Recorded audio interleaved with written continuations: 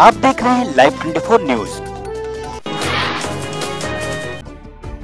गाजियाबाद में विशेष सीबीआई अदालत ने निठारी मामले में सुरेंद्र कोहली और पंधेर को फांसी की सजा सुनाई है। तो वहीं मामला जब सामने आया तो इनको नरपिशाच की उपाधि दी गई। तो बताते हैं कि सुरेंद्र कोहली के इशारे पर बच्चों को मारा जाता था और उनके कंकाल पीछे नाले में डाल दिए जाते थे।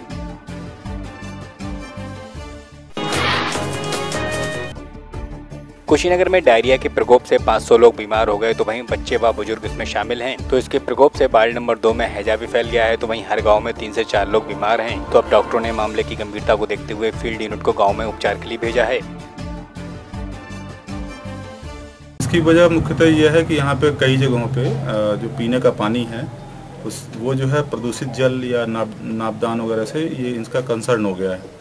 मिल गया है, जिसकी वजह से उसमें जो है वो दूषित पानी ग्रामवासियों ने पी लिया है, जिसकी वजह से इनको काफ़ी पेट झड़ना, पेट फूलना, उल्टियाँ, दस्त, ये सब बीमारियाँ हो। मिली तब से हमने जो है इसके लिए कार्रवाई कर रहे थे, और पहले तो निरोधात्मक कार्रवाई की गई यहाँ पे, और हॉस्पिटल में भी जो है लगभग अब तक चौवन पचपन लोगों को भर्ती करके उनको दवा वगैरह दिया जा रहा है। आज सुबह से उनकी संख्या काफ़ी कम हो गई है। अब तीन या चार लोग अभी हमारे सरकारी हॉस्पिटल में एडमिटेड हैं।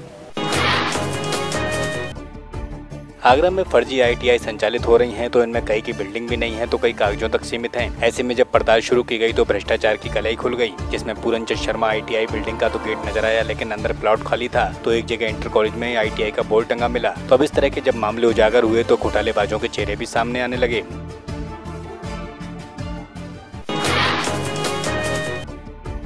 आगरा में युवक ने अपनी ही प्रेमिका का अश्लील वीडियो बनाकर वायरल कर दिया तो वीडियो उसी की बस्ती का है जहाँ युवती रहती थी तो युवती के परिजनों को उसकी भनक तक नहीं। अब पुलिस ने मामले की शिकायत की है तो वहीं आरोपी धरा गया, जिसमें पीड़िता ने बलात्कार का आरोप भी लगाया है।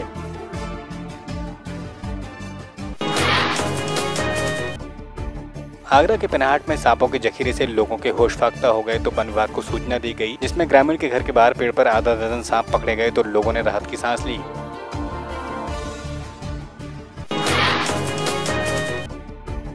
बुलंदशहर जिला अस्पताल में लापरवाही एक बार फिर उजागर हुई। यहाँ मरीज़ को फर्श पर ही लेटना पड़ा तो मामले में सीएमओ साहब भी खामोश दिखे। इसी के साथ यहाँ स्वास्थ्य सेवाओं पर भी सवाल खड़े हो गए।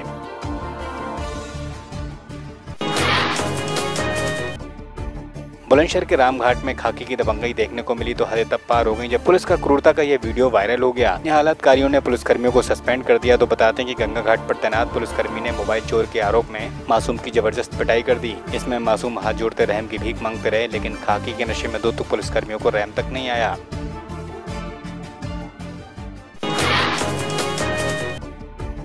नोएडा के जिला अस्पताल में कॉन्ट्रैक्ट इनोवा सैलरी न मिलने से गुस्साए सैकड़ों डॉक्टरों ने अस्पताल की सेवाओं को बाधित करते हुए धरना शुरू कर दिया, जिसमें प्रशासन खिलाफ नारेबाजी की गई तो मरीजों को इस मौके पर खासा दिक्कतें उठानी पड़ी। से सर्विसेज़ सर्विसेज़ बिल्कुल सफ़र नहीं हो रही हैं, सब काम हो रहा है।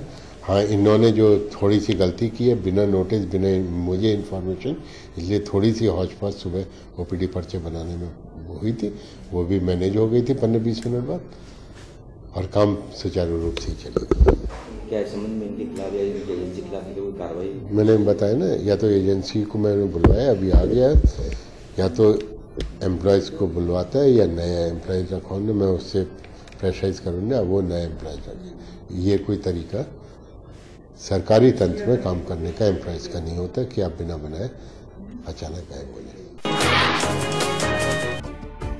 सिद्धार्थनगर के बासी में नगर पालिका का कार्यकाल समाप्त होने पर पालिका अध्यक्ष चमनाना रायनी ने मिलन समारोह आयोजित किया, जिसमें ईओ के साथ सभी सभासदों को अंग वस्त्र देकर सम्मानित किया गया। तो पालिका अध्यक्ष ने विकास कार्यो को साझा किया।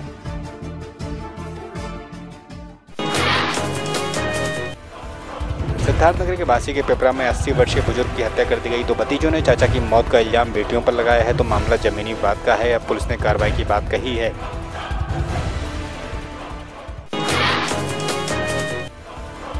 मथुरा के गोवर्धन में पुराने रंजिश के चलते दो पक्षों में मामूली बात पर विवाद हो गया, जिसमें कुछ ही देर में यहाँ ईट पत्थर भी चल गए। तो इस घटना में चार लोग घायल हो गए, जिनको उपचार के लिए पुलिस ने अस्पताल पहुँचाया। तो वही मौके पर पहुँची पुलिस ने हालात पर काबू पाया तो इस दौरान पुलिस का वाहन भी क्षतिग्रस्त हो गया।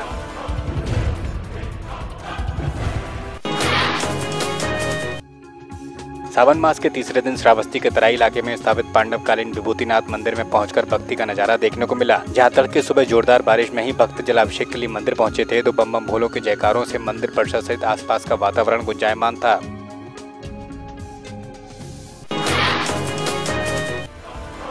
श्रावस्ती के जंगल के किनारे गाँव में तेंदुए का आतंक है तो वहीं ग्रामीणों की शिकायत करने के बाद भी वन विभाग सोया हुआ है। तो यहाँ हालात ये है कि हाल में ही मासूम बच्चियों पर तेंदुए ने हमला किया था तो माँ के शोर मचाने पर तेंदुआ भाग निकला था, लेकिन गाँव में तेंदुए की दहशत अभी भी बरकरार है।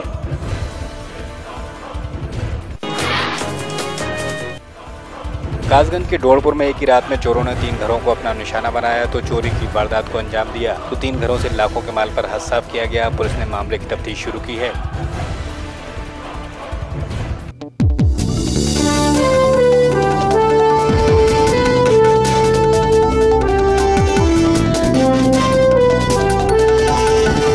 आप देख रहे हैं लाइव 24 न्यूज़।